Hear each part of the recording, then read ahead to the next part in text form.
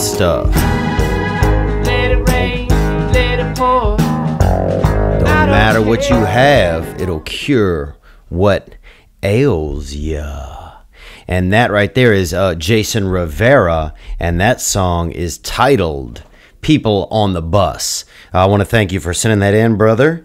Um, it is Thursday edition. Uh, this past follow up, we are talking about America, what it means to be an American. Uh, that's Jason Rivera sent that in, and that uh, song is uh, from America. That song was it's made here in America. That's an American made song. Uh, thank you guys for joining me. Uh, we're going to crack right into it. A lot of great calls um, talking about America, what it means to be an American today to you uh, and to me. You know, and I'm going to start off, you know, I'll just reiterate a little bit. Um, you know, I told you guys that I spent my weekend in small town America, 1,400 people. To me, that's about as small as you could get and still be uh, what felt like a town to me. Uh, there wasn't a lot going on. Um, you know, uh, it was a family first type of environment. You know, family was everything. Um, just having children was important. It was almost like having you know, in, in in busier cities and in wealthier environments, it was almost like having money. Um, family seemed to be a currency there. Uh, rumors were bigger there. Rumors uh, were, you know, like, did you hear this or did you hear that? You know, because with less people, words they hang in the air longer. You know, like the kind of like the seminal spray of a of a lean uh, seahorse. Picture a seahorse jumping out of the water and spraying out its nuts out into the air. That's going to be a beautiful mist, something fine that's going to hang in the air. And that's how the rumors are in a smaller town. They tend to hang in the air more um, because there's less people. So, you know, words aren't as plentiful. So when something is said, it hangs around longer. People get up early, people were working. Uh, that was a big thing. Getting up early, showing that you were awake um, to your neighbors, probably to your children. Uh, going to church was important, um, not only for religious purposes, but also as a social event in a smaller town or a smaller community. You know, that's that's important. You know, just getting to see other people that's where you would do it at church. Uh, fostering children was big, it seemed like. I ran into a few different families that had foster children. And you might say, well, Theo, that's nothing, you know?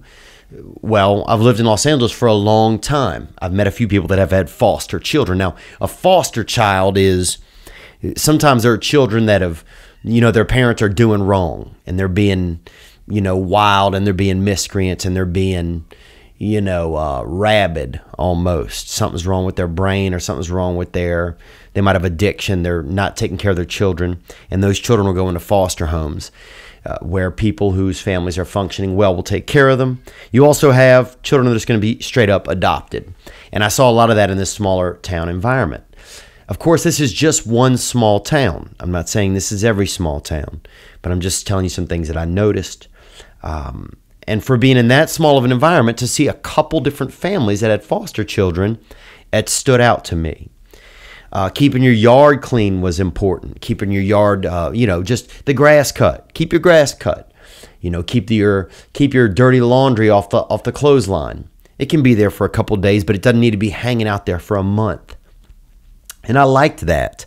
I liked having this semblance of of responsibility because it was a smaller environment, you felt more liable to your peers because there were so few of them, you know, and more liable to your neighbors. Um, there was a little bit of drinking, you know, probably as much as anywhere else, but in a small town, like if you drink a lot, it's gonna you're gonna be the town drunk pretty quick because there aren't as many people.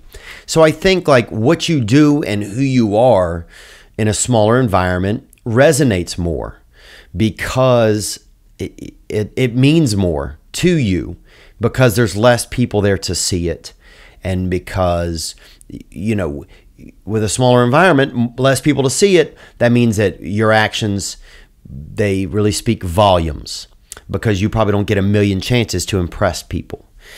Um, so yeah that was my america man. That was uh, my america this this past weekend in a small town and then it, got me to thinking after after last episode of this past weekend uh, what what was my america you know personally? And we're going to get into some calls here in just a few minutes but i just want to tell you what my america was like. So some ways from my america growing up. That's what i want to serve to you first here. Um, opportunity. I never felt like i couldn't.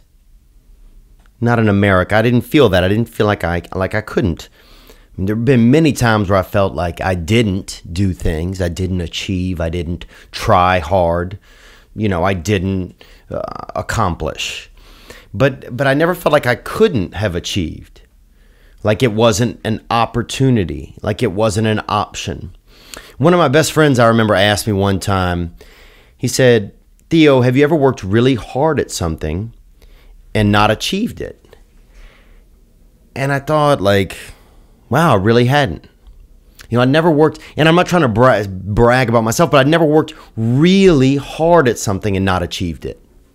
I've had goals that I didn't achieve, surely, but that I really gave it my all, that I didn't take time off, that I didn't take naps when I shouldn't have, or, you know, spend time petting the neighbor's animals when I should have been out there running track, you know, or, you know, um, hiding things. I remember I got this one time I was trying to be this uh, win the school spelling bee, and somebody gave us one of those electric worm rods. And those worm rods, you put them in the ground, you you you plug them in, and it electrocutes the ground, and the worms come up. I mean, it's like free worms. I mean, it's like you know when um, you know, it's like parting the seas almost, and just worms, worms, just coming up out of the ground. Worms you didn't even know were in the ground. And you put the stick in, and boom, worms fly up. Anywhere you plug it in at, this electrical worm rod. And I remember getting addicted to using that for probably about three weeks. And came, come spelling bee time, I got fifth place, you know? And I could have done better if I'd have tried. Half the kids in my town could not spell, still cannot you know and that's honest. That's honest to goodness. That's true. And i think a lot of them if they're listening to this will hear that and be like what's he talking about? But then if they really start thinking around they'll be like yeah he's probably right. I, I didn't come from really from the spelling belt. But anyhow i got that worm rod and i wasn't focused and i didn't do well on the spelling bee. Actually a pregnant girl beat me in fifth grade. She won the school spelling bee. I will never forget that. Uh, anyhow, but I'd never worked really hard at something and not been able to achieve it. You know, and that was, I think that's just a testament to the fact that we live in America. You know, because I never felt like I couldn't. I mean, my mother was educated. Uh, she didn't have the greatest employment, but she worked hard. She delivered baked goods. Uh, she delivered newspapers, um, and that was because of circumstance. She had to work because she had to provide. You know, she was she was not ignorant in the in the in the least. She graduated from Duke University. She was an educated lady, uh, and she never left me with a feeling that I couldn't. You know, I think she always left me with a feeling that as long as I got educated, that I could, and then I naturally just felt in America that as long as I made an effort, that I would always have opportunity. You know, that opportunity was always going to be there. Uh, the second thing is that you can share your opinion, and we're going to get to some calls, guys. We got a bunch of calls coming in. I'll know, get to them shortly. I just want to establish a little bit more my foundation because this whole thing got me to thinking, what did America mean to me? You know, and I'm coming to you from Nashville. I'm in Nashville. Some of you guys are probably wondering, well, Theo, why wasn't the episode up on Thursday morning? Well, it's still Thursday. Okay, it's 8:49 p.m. here, and I just got it up. I had to fly here you know, and I went and saw a Book of Mormon last night. I wanted to do something for myself. So, uh, but yeah, the second thought for me was that I can share my opinion. You know, though I think that some people should have to be licensed these days to have an opinion because with stuff like Twitter and all this, any mook, you know, gets to have one. And that's a Joey Diaz term right there. But Uh, but I got to have one. You know, even the ignorant got to have one. If you were really ignorant, you still got to have an opinion. You know, if you were cruel or whatever your intentions, they didn't have to check your intentions.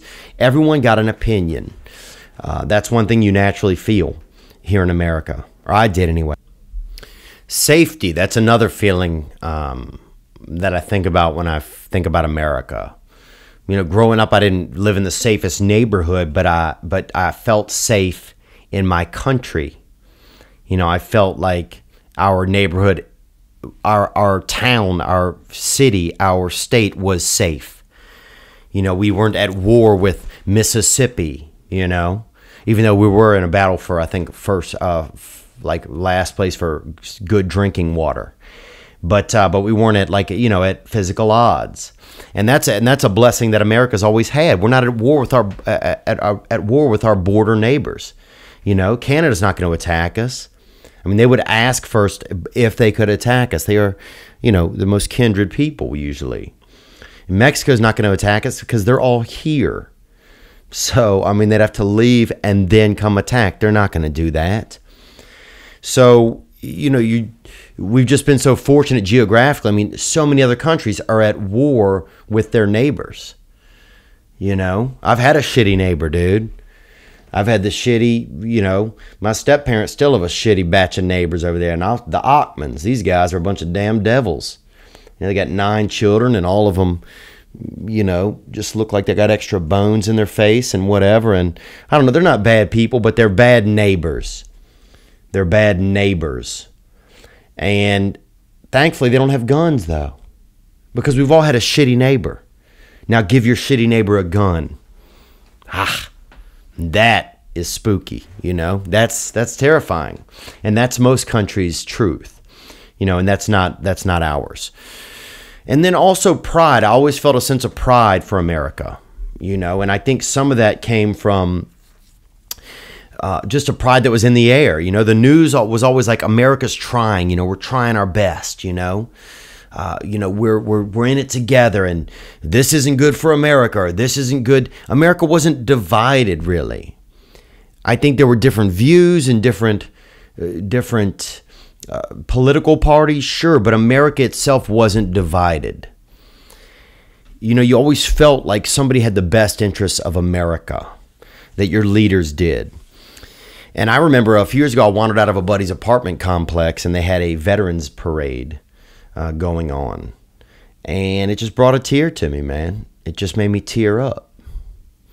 You know, because your emotions, when I would see, I just saw the men walking down the street and the flags, and you think of all the wars where people didn't come home. And maybe I romanticize things, maybe I'm a romantic, but it just made me feel something. It made me feel a part of something. It made me feel gratitude. And it wasn't a feeling that I had to create, that I had to think up. It was something innate inside of myself. Like my emotions just got erect, you know? Because your emotions, I mean, they will come to the surface of your skin. You can feel these just whirlpools of just just tenderness and damn just like just like uh just like somebody filled your neck and your in your face with warm in your cheeks with warm apple cobbler you know? And that's your emotions getting riled up and you know and then you they tear up. A lot of times your emotions will basically ejaculate out of your eyes with salt water. And that's tears. And that's what happened to me watching that veterans day parade was seeing these men um, and just seeing the pride that they all had this one thing in common uh, that they had supported this flag, that they had supported this idea of America. And maybe that's a romanticized idea, but I would rather have a romanticized idea than the alternative, which is having no pride in our country. I, would rather have the first one and we had that, and there was just a lot of that. There was a, there was more of that back then. It felt like more of that pride, you know. And now I just don't know if you see it as much. You know, the flag felt like a real thing to me. I don't know if I was young, but the flag felt like a real thing. You know, we had to say the Pledge of Allegiance at school, I think just on Friday. But we all got up and we said it together and we crossed our, you know, we crossed our, our chest with our hand and we said it. And it wasn't that everybody was like, fuck yeah, America, you know, at the end of it. But it was just something that was unifying. It was some solidarity. And I think that that's, that's important. And it, it felt important then. It felt like, oh, we're all on the same team. If something happens or something comes in here and invades us, I don't care if it's a, you know, back then it was Cuba or Russia or Guam. I don't care if it's, you know, one of those, uh, one of those forces, or I don't care if it's a damn vulture. I don't care if it's some, you know, creaky old angry vulture that flies in here, you know, and is just you know, trying to bite people's necks and stuff and just damn, just beak people's eyelashes off their face or whatever. But it felt like anything that came in, we had each other and that we were going to be supportive of each other. And that was that was good, man. I liked that. I liked that feeling. You know, I liked that feeling. I felt fortunate. I felt fortunate to live in America. And now it feels as if the American flag it's like when they show it on TV, they show it sometimes if like in this context that we should be ashamed of it. Like it's only representative of of people that aren't open-minded. And that's extremely alarming to me. And this is just my point of view, and I'm happy to be wrong. I'm happy to be reminded of the other side and you can hit the hotline and tell me about that. But but it, I just feel sometimes like they're trying to show it in a way that we should be ashamed. You know, like, what are you doing with yourselves, America? You know? But it's the number one flag, man. I mean, it's the flag. It's it's the it's it burns me up when I meet Americans that that aren't even supportive of America. You know, and I even meet I meet some of them through work and everything where it's like you see a lot of uh, of it in I think bigger cities where there's a lot more diversity. You know, and people voting for the interest of their of the country that they came from. You know, but not voting for the interest of of America. Um, but that's that's wild to me because I, I guess I just could never imagine that. You know, it's like you can't you if you're here, you vote for here. You know, you vote for what you think is best for here because I don't have any issue with the countries that some of these people might be from that they might do this sort of thing, but it upsets me to hear that. You know, I'm happy that you're from another country. I'm happy that you live here and that your children live here and you make money here, whatever. But I find it, to me, rude that you should favor that country, whatever your country is that your your parents or grandparents are from, than the one that you currently live and prosper in. I think that's selfish. And I think that's rude. And a country that you receive military safety from. You know, if your home country is so phenomenal, then just stay there and vote for what you want to there. But at least if you're going to be in America, at least be supportive of America. Now, those are my thoughts and feelings being an American and not being from somewhere else and living here. But I, I you know, I do wonder if I lived in another country, how would I behave? You know, if I lived in in Spain, would I vote for? And there was an election, would I vote for whatever's best for America? You know, or would I vote for what's best for Spain? You know, it's easy for me to sit here and say that I wouldn't, but I don't know. You know, I, I don't know for sure. But I do know that I don't expect you to live here and not support this nation. You know, sure, was this nation built upon, you know, the backs of slavery and greed and, and countless negative things? Yes and no. You know, I'll say both. I think a lot of those things are just how humanity has played out. I think they are uh, infections and uh, uh, just how humanity's played out.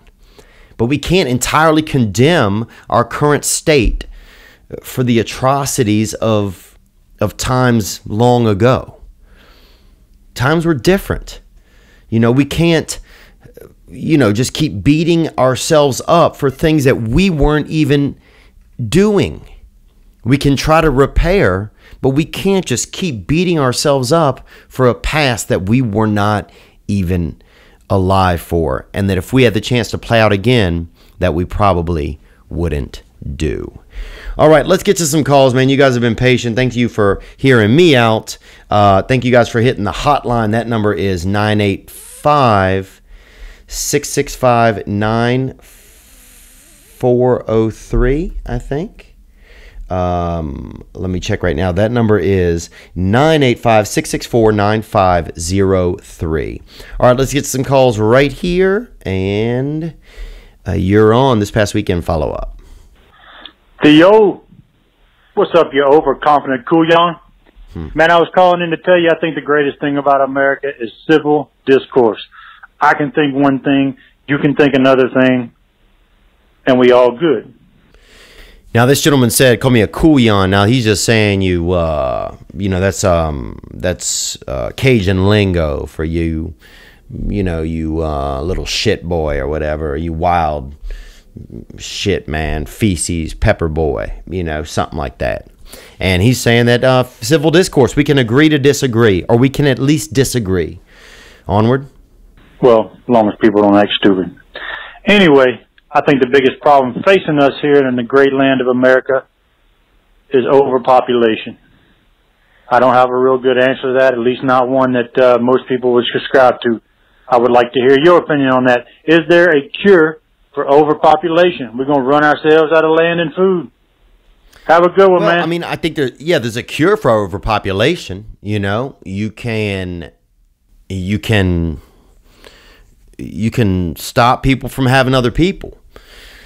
And I've said this before. You can take people's nuts. You can take kids' nuts, you know, and give them back later when they have proven that they are contributing members of society you know and i don't think that just the rich are going to be contributing members i think you're going to have all types you know but i think that would create a desire amongst young men to want to do better and do their best now overpopulation yeah i mean it's a real fa- it's a fact that you're talking about i mean the the amount of resources we have and the rate that we are creating more people is unbelievable especially in america it's not it's not sustainable it's not go look it up look it up all over you know, uh, look in your refrigerator. Now add 20 people to your house. And now uh, what you have in your refrigerator looks like a lot less. And that's what's going on. It, big picture America. It might not happen in our lifetime, but big picture America. And America, we are so greedy. We use, I, I read somewhere that the average American uses eight times the average uh, amount of um, you know food and water and whatever toilet tissues and this and that kleenexes and soap and everything as the average chinese or indian person can you even imagine that i mean that's consumption that's crazy. And when you think about it you don't see you know a fat indian. You know you just don't see it. I mean they had one fat indian they made a dang god out of him. That buddha. That buddha man. And they made him the god. Because he was fat. He was the only fat one they'd ever seen. You know, and he was being greedy at the pork plate, or God just made him fat, and they saw him then as a deity. But you don't see a lot of fat Chinese, you know? If they got a fat Chinese, they make them wrestle. You know, if they got a fat Chinese, they're suddenly famous wrestlers, you know, or they're in these videos shooting each other and, you know, with air pistols and with paint guns. So you don't see a lot of that gluttony. In America, we are gluttonous, and as the population increases, boy, shit is going to be set off. You're going to see a couple of mooks out in the street, a couple brothers out there beating each other down for a couple sticks of celery.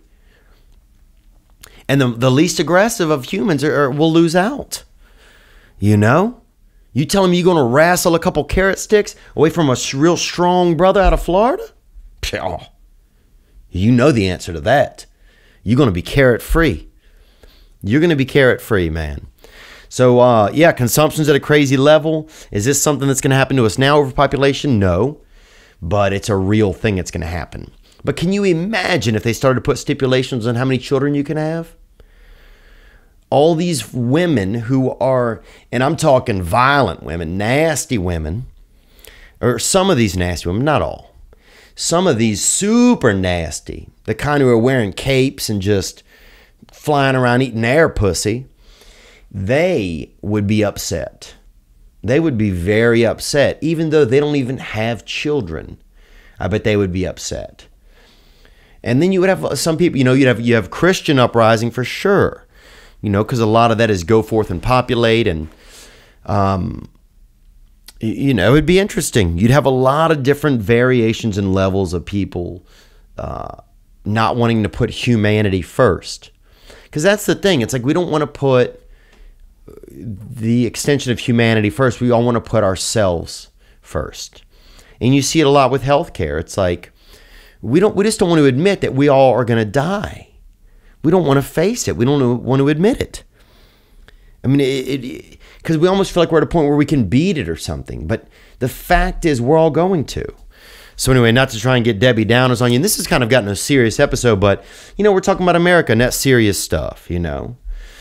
Now, the next one we had in right here was a uh, a text, and I'll read this to you. This is from Sal. Yo, Theo, it's Sal from Jersey again. I texted a while back. I told you I started a podcast with my uncle called the Red Podcast. You definitely touch on some chords about America. I feel like people have forgotten. They forgot 9 11. They forgot that America is the place that people from other countries literally die to fucking come here. Die to fucking come here, he said. They forgot what made this country great, which is you can be, you can make yourself anything you want to be with maximum effort. He says this younger generation has been coddled into believing they don't have to work. If people would strive for the best and to be and to be the best, everything would be different. And you know what? Some of this stuff I agree. Sal, I appreciate you texting in. And I appreciate our previous caller calling in. I didn't say thank you.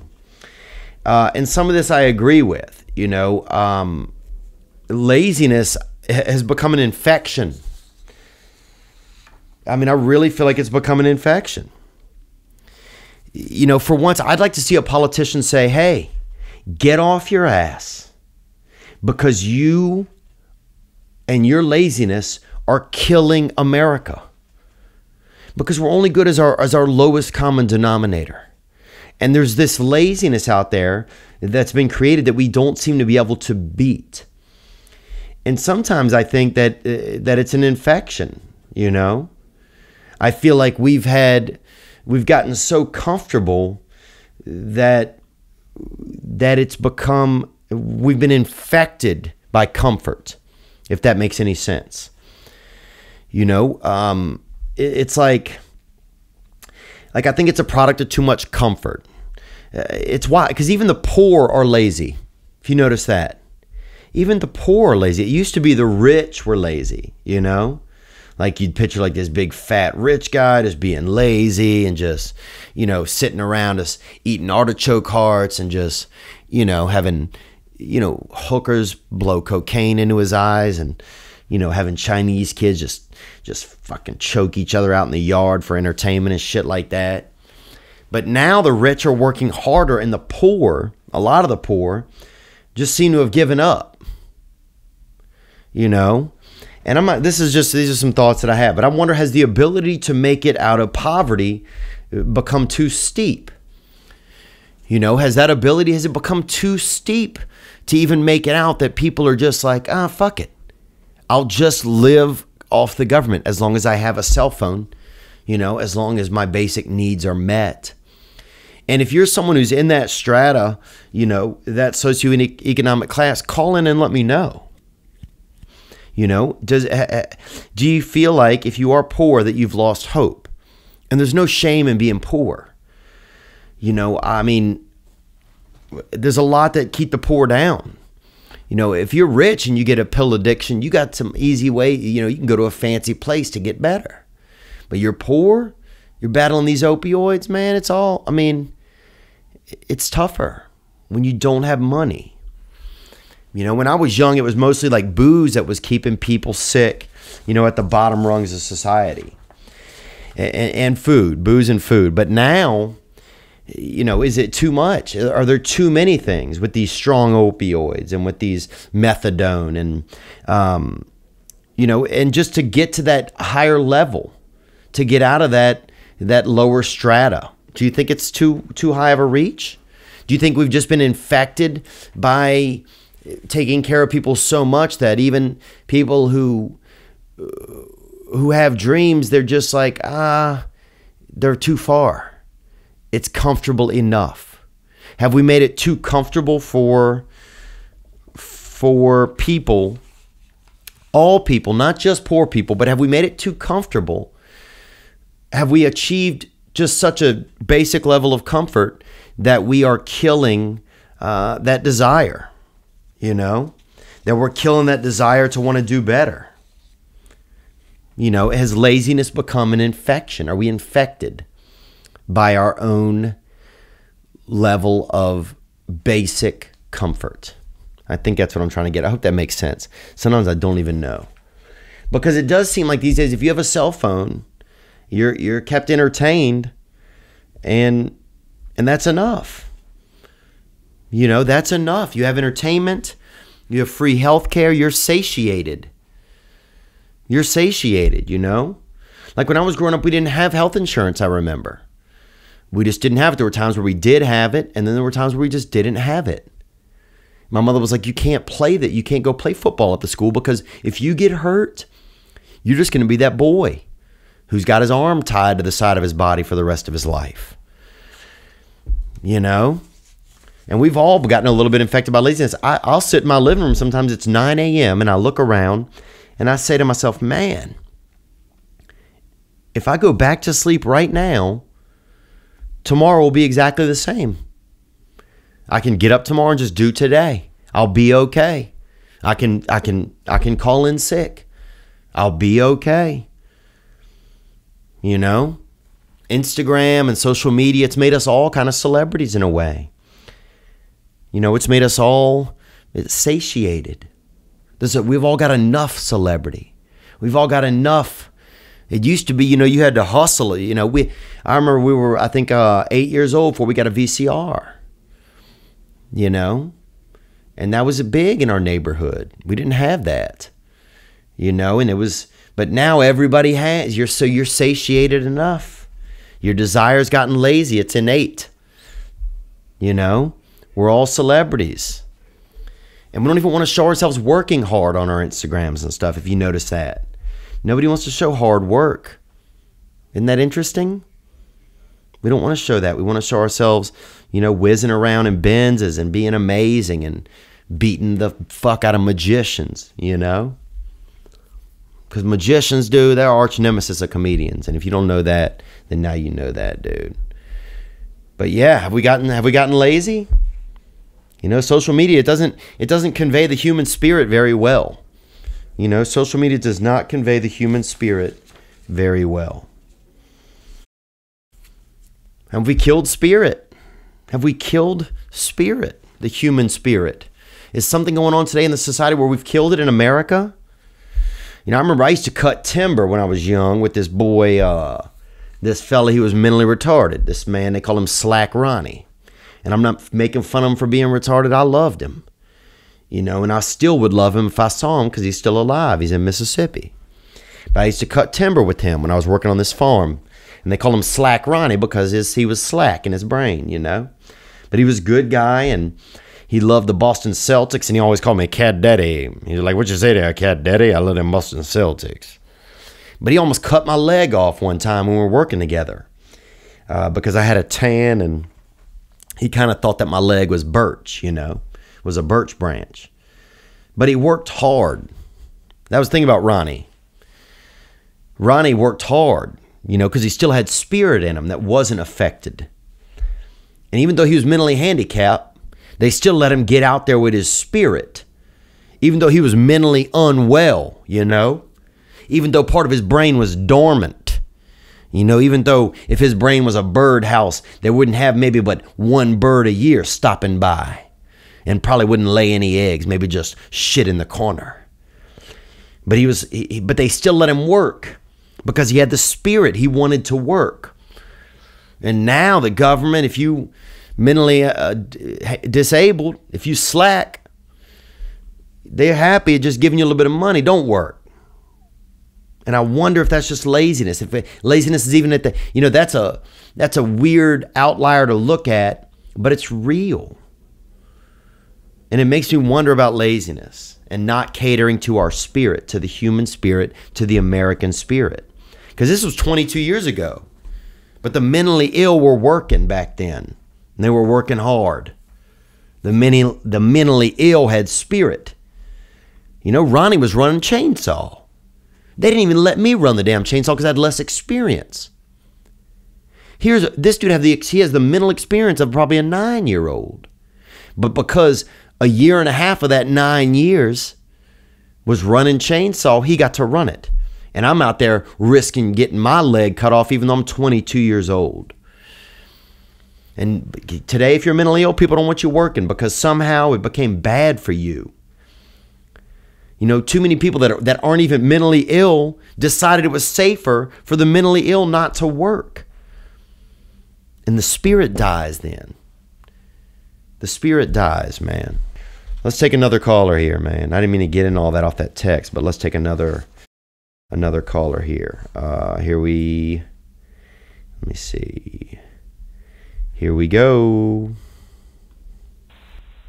Hey, Theo Von, I was uh, couldn't sleep, so I was up having a couple of beers, and your podcast came up. I was listening. You had a question: What does it mean to be an American these days? And then you seemed to indicate that Yep, that was the question there, brother. What does it mean to be an American? I'm happy that you woke up or couldn't sleep and uh, decided to have a couple beers, man. That's uh, I like that. I respect that, dude. That's very Irish. And then you seem to indicate that maybe isolationism was the answer, but I don't think it is. I mean, the worst terrorist attack we had in 2001 when they took down those buildings, we didn't try and run away and hide ourselves and build walls around ourselves and keep people we thought might be bad out. We just, you know, straighten our shoulders and move forward.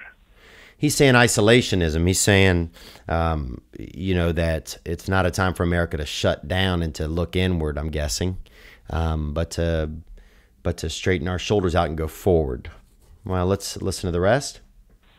And I think that's what we have to do with every one of these cowardly attacks. Most of them don't come from outside sources anyway. Most of them come from people who are here who are idiots and get converted with propaganda anyway.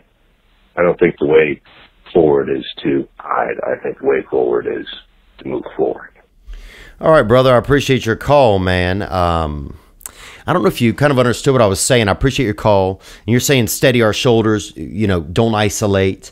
Um, but I, I guess I don't know what you mean exactly because I don't think that un Americanness is coming from outside of us these days. You know, after 9 11, we steadied our shoulders and we moved forward, right? There wasn't any isolation. Everyone was American and we were you know, wondering who did this and what's the best, how do we get these, you know, do we take revenge? Do we lead by example? And I think there's a bit of both. I think Bush administration tried to take revenge, and I think that Obama's administration tried to more lead by example of not taking revenge. Um, but everyone I felt like was America first, at least for right after 9 11.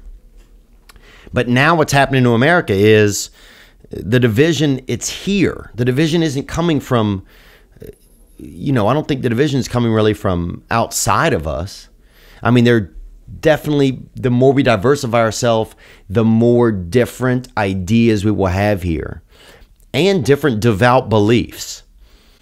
But I feel like there's this there's a there's a vision amongst amongst pre-existing Americans. You know, that we don't have an enemy that we're finding the enemy amongst ourselves. You know, I don't feel like we're isolating as much as we are dividing. You know, I don't feel like America's sticking together against the bad guy, whatever that is, that bad guy may be, and that's just a you know, a term. But I feel like that America is turning at each other and thinking each other is the bad guy. You know, you can say keep the shop open and don't hide, uh, but I don't think we're hiding from anyone as much as we are facing off against each other. You know, if that makes any sense to you. And I appreciate your call. Um, and I also don't think things are as bad as the media makes them out to be. Uh, but I do appreciate your call, man. Um, but I'm thinking more like, what is, uh, how are we on, just like what makes us American or what makes you feel American? So that might have been a little bit uh, off of uh, off a topic your call, but thank you anyhow. All right, let's check in uh, another call here. We got Jeff from Colorado. Hey Theo, this is uh, Jeff calling you from Colorado. Ooh, I just said that. Uh, thank you for your call, Jeff. Appreciate you. Onward.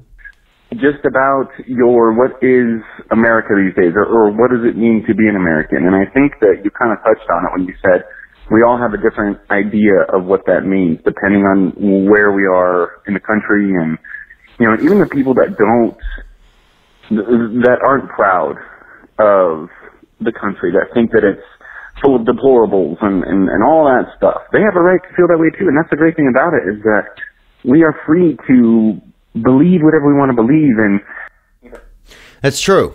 That's a great point, man. We're free to believe whatever we want to believe. I can sit here, I can listen to callers say their beliefs, I can share mine. And I just want to interject right now. We are getting to the point where we'll be able to have live callers. Hopefully, I know I keep kind of saying it. I'm trying to make it happen. I promise you. Um, it costs, it takes time, location, there's a lot of stuff, but I do want you to know that is a uh, an end goal of mine or a goal of mine. But uh, anyhow, um, oh, let's get back to your call here, Jeff. Either celebrate our country or not, you know, and Yeah, people have the opportunity to celebrate our country or not. Yes. Um, but I guess I wish, and it could be selfish, that everyone should celebrate our country no matter what. that's what's so special about America. And, you know, I, I mean, out of many, one, right? E pluribus unum is a motto for our country. So I just think that we all need to remember that on a fundamental level, we all agree that this is the place to live, right? And, and if we start there, it's easier to have conversations about difficult topics if we can find common ground first and then build up from that. So anyway, yeah, don't don't be ashamed to fly those flags because this is the greatest country that the world has ever known. And Thanks for your call, Jeff. I appreciate that. And uh, say hello to Colorado for me. Um, I've had some issues up there at different altitudes, but I've always enjoyed myself. Uh, well, I'll say this. I mean, you know, you say as long as we are on the same common ground, but I don't know if we are. That's the thing. You know, and I don't know. And some people, you know, like you're in the election, you have people saying they would leave America if their person didn't win. Like, what? Where are you going to go? What, uh, and and then to not even go. It's just it's just such a spoiled kind of vibe. I feel like that's out there. And you say fly the flags. I mean, there's a vibe uh, by some in America that the American flag is negative. You know, if you wave a flag, an American flag at an intersection in Los Angeles or, or, or maybe not New York City as much, but in Los Angeles, people might view you as a troublemaker. You know, it feels like, uh, you know, like the television, like they don't, you know, that they would make it seem that, that, that they would make it seem that way. You know, and, and and maybe part of that's because, you know, during the election, the most recent presidential election, you had Trump that used the red, white, and blue flag, the American flag, more as his campaign flag. And then Hillary created sort of this different emblem with the H and the arrow. And so I don't know if maybe that started some of it, that, you know, it put a different Uh, emblem up there for people that were supporting one direction as opposed to people that were supporting the other. You know, but I don't know. Do we all agree on that? Do we all agree that that this is the greatest place to live? Because I feel like I feel like we should. But I don't know if I'm able to comprehend the different perspectives that would make me feel like I would say that we shouldn't. You know, I don't know if I'm able to. It's hard to see other people's perspective. That's what's so hard. They always say, like, well, put your person in that person's shoes. But it's so hard to really do that. Um, and I think we've just been getting a lot of perspectives these days. And everybody's perspective is shared. And everybody's perspective is magnified because, you know, the news is entertainment now. And as long as they can create controversy, they'll do it. So it's just it's a confusing time, but I don't know if we're all on uh, if we all agree on that. I don't, and if we do, uh, we might do it for different reasons. You know, I think some people see America more as like just a grounds for profit. Uh, some people see it more as like a land of liberty, um, and a lot of us probably just see it as both. You know, something in between. Um, but I think that some people have been affected or infected really by the American dream. You know, some people are living the American dream. You know, we watched our parents live it. You know, we're trying to achieve it. And others, I feel like, are infected With with, it. it. They They always, always had it. You know, You know, because I think the American dream can be an infection. They were, They were born, into, it. I mean, I how, mean, how can, you have gratitude, gratitude when you've, when you've never, had to be grateful for anything? anything? I don't I don't see how you can. I think, I think it would be very hard to. And I'm not, saying, that, the wealthy are ungrateful, or that or they're, that they're un-American. un-American. But I, But I do, do sense, a vibe amongst, the uber wealthy, like a, like a sense of kind of, of, entitlement, that, that feels, feels like an infection. And I, And I sense, sense it. it. I've sensed it sometimes in myself. You know, You and, know, and I'm, not uber wealthy. I mean, but, I have been blessed uh, to, transcend class in my life. You know, I I mean, mean, everybody's, everybody's been poor. A lot, of people have. I'm not saying I was ever any poorer than you, but but I grew up poor, below the poverty line. You know, You know, I mean, I mean, I grew up. You know, You know, when I really think about it, I just grew up poor. I just, I just did. You know, You know, and I was ashamed of it for a long time and whatever. But anyhow, but I've but I've been blessed now to transcend class, so I'm able to see what other people are seeing. And I, And I even sometimes will see the poorest, to the poor, now, and, and some of some the, of the stuff, that they do, or their vibe, it's sometimes, sometimes it's just it it makes, me me sad. You know, You know, Whereas, whereas years ago that would have been my tribe, you know, or what. But it was also all I knew. Um, but I question the motive of people, you know, who live here and who make their money here, uh, and pull their wealth from America, but say that it's not the place to live, or who refer to others as, um, you know, as deplorable, uh, just because other people don't have. You know, like I said earlier, we're just our lowest common denominator. And but I do notice that when you achieve the American dream and you are able to start to live in it, that you get comfortable. And I think that if people are born into it and have had just that extensiveness of it their whole life, and maybe their parents were as well, so there's not even a a, a, a, fable or a tale in their family, you know, to be passed down, then how are they going to have any gratitude to live uh, and and or gratitude for people that are still suffering to achieve their dreams. It's like when you live at Disney World, how can you know it's Disney World?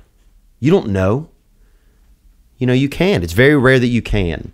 And I find it, I wonder if it's, it's probably very rare that some parents are able to recognize their level of success and their environment and still able to teach their kids, um, you know, uh, how to how to handle themselves and how to live decently in a world where a lot of people aren't as fortunate as they are. And I can see that infection occur. I can feel it sometimes in myself at certain moments. You know, I can feel those dark arts, man. And I feel like America's gotten to the point where we're kind of steadying our shoulders. We're moving forward, you know. Uh, and I think America's saying enough of these politicians that don't serve us. We want to get rid of this system. Um, I feel like we are. We're doing some things, you know. But yeah, it's one. It's crazy. It's like it, it, it's just it's crazy, man. It's a lot. It's a lot going on right now, and that's interesting. There's a lot going on. If you want to open your mind and think about this stuff, there's a lot. There's a lot of levels. There's a lot of levels. Thank you for your call. Uh, let's take one more call right here, and this is from Tom. This is one of my favorite calls, actually. Let's listen to it. Here we go. Hey Theo, it's Tom. Uh, I live in rural, rural North Carolina now. Uh, I grew up in the inner city, and I just wanted to talk about what America means to me. Rural. Now, this is kind of the call I was looking for. Something like this. And other people have done it, but I'm liking this. Let's go, Tom. Rural North Carolina. Uh, growing up, I didn't have a lot of opportunity, but I had a lot more than somebody in, in my position in another country.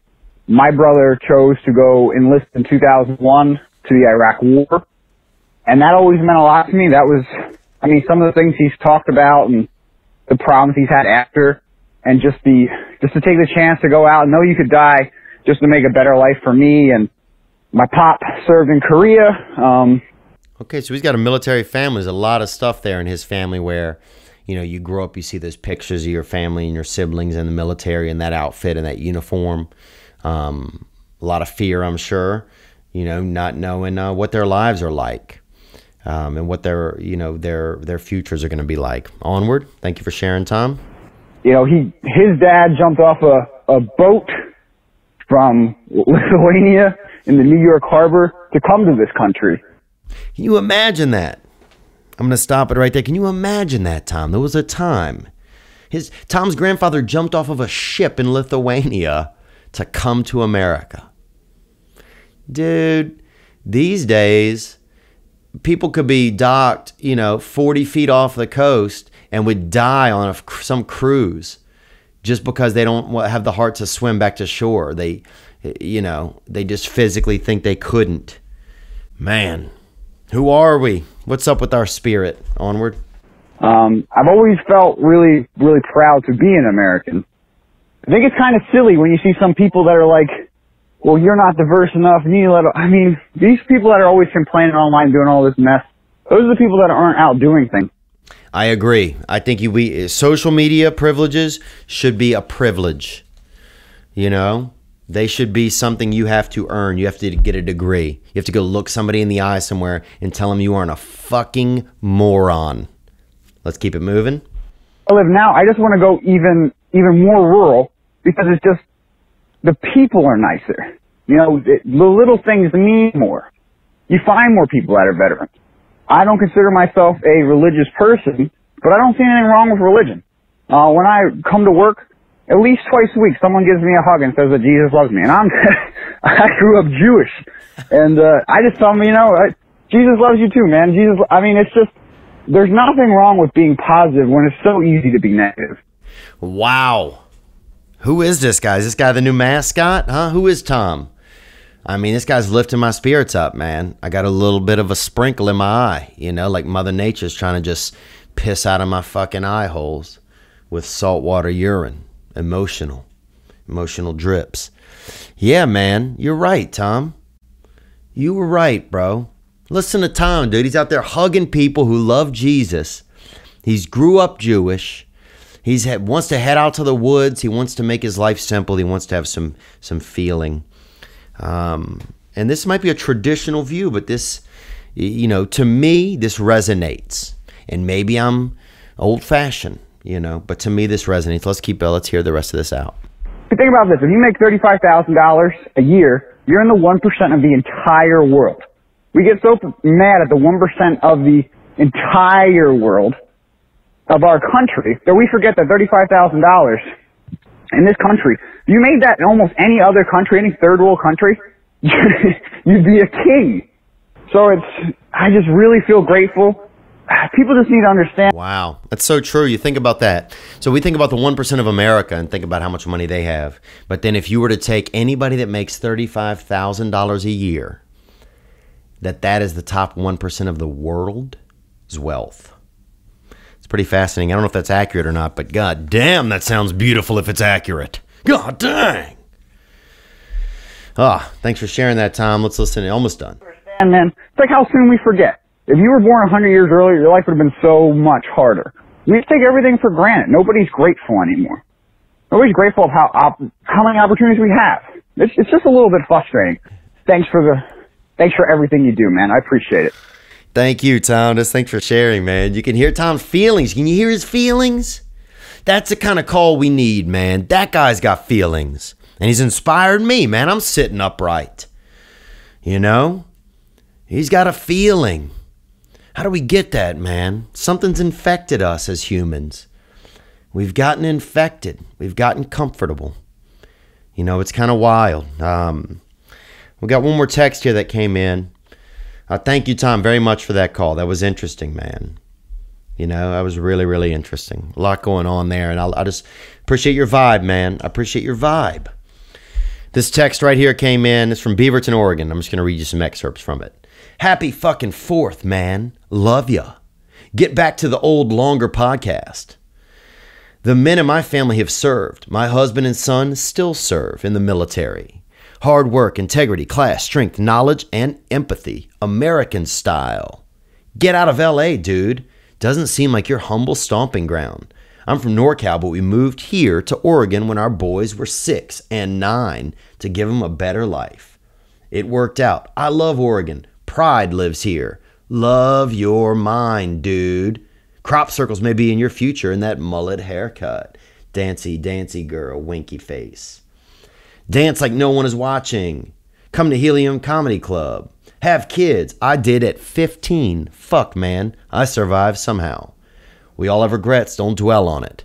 I ran away at 14 and left my mom until I got pregnant and then I needed her. I have stories, but I have so much love for my man that was by me for 23 years with two beautiful young kids. Make some fucking babies, man. Kids are awesome and healers of our souls. They're like animals. Black sand beaches. It's awesome. Can you please have stickers available? And that was the text. And that made me smile, man. Uh, for one, you can feel the love in that woman's text. She has kids. She has a she has a man. She has or you know a spouse. Someone to share her life. She's got some girth to her life. She thinks about the beach. You know, she has a soul. Uh, she references it. She talks about her children. Uh, she doesn't talk about her that much. You know, I mean, she talks about her life, but she doesn't talk about her. Um, so thank you. The dance like no one's watching part, little cliche for me, honestly. But you could tell it was her life.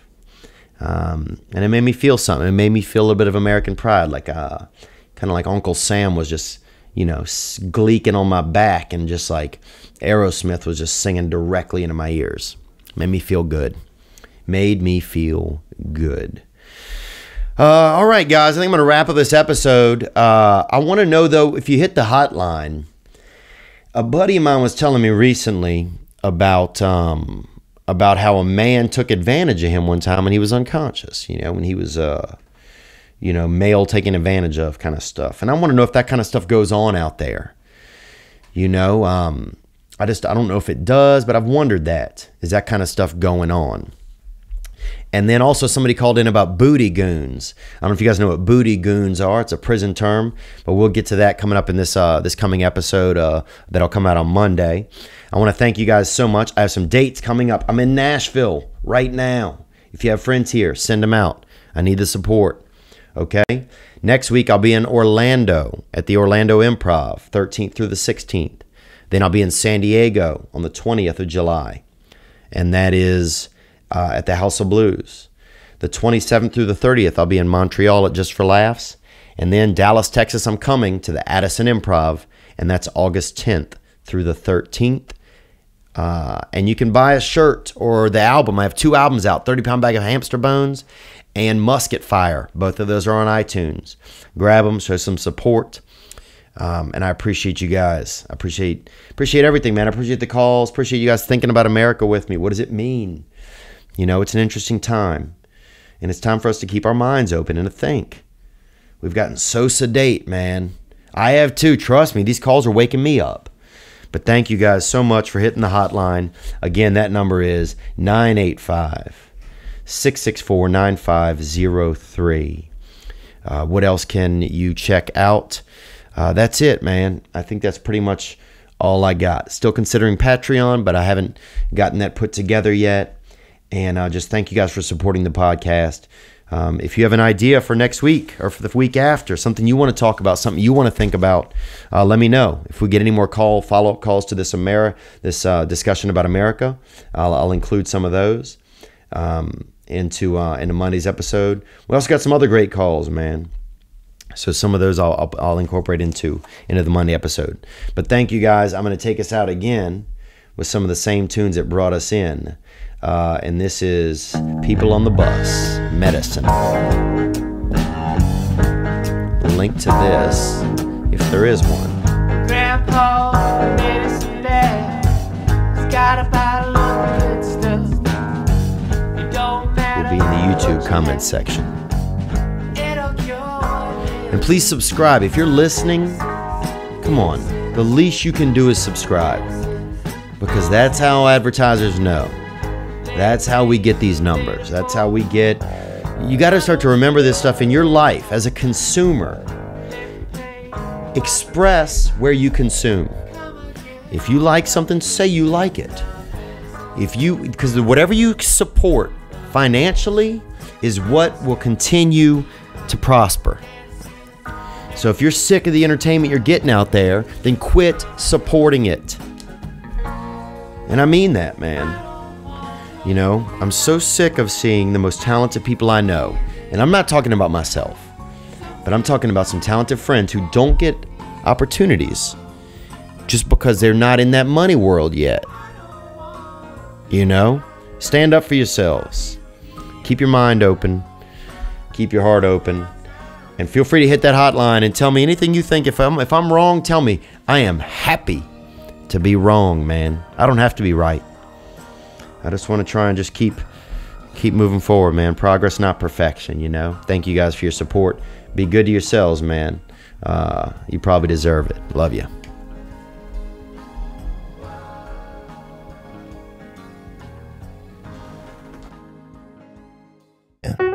This past weekend,